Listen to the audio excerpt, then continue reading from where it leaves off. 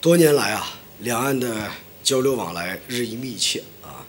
呃，人员的往来不断的增长啊，在当前啊机场、时刻、运力等资源啊十分紧张的情况下呀，大陆民航主管部门和航空公司尽力为两岸春节啊加班机来增加航班，尽最大可能的啊予以保障。所以我们希望啊，台湾方面正视啊，正视啊啊台胞返乡的需求啊，尽快啊予以啊积极的回应。更多精彩尽在中国新闻网客户端。